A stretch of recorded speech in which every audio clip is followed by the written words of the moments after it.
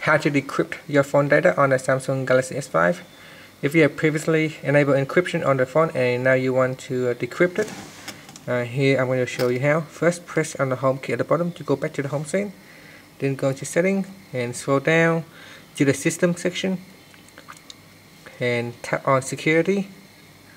In security tap on decrypt device. It will ask you to plug in the ch charger and your phone battery need to be above 80% for this to work so I've got a charger here so I'm going to plug it right into the USB port. Once you plug it in and if you turn on the power source so I'll do, I'm just going to turn on the power source.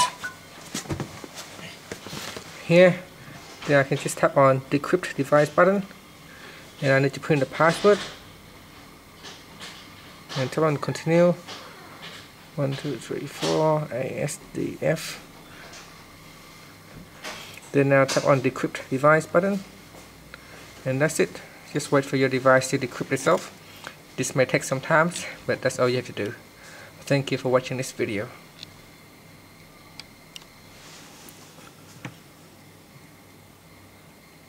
I'm just gonna wait for it to show up a little bit so you can see that it's actually decrypting the device.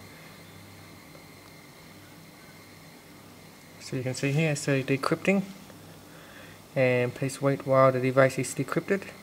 It's going at 1% complete. Now because this can be quite slow so I'm not going to run the whole video on this so um, I'm going to stop the video now but as you can see it's progressing. So you should be able to decrypt your device perfectly fine.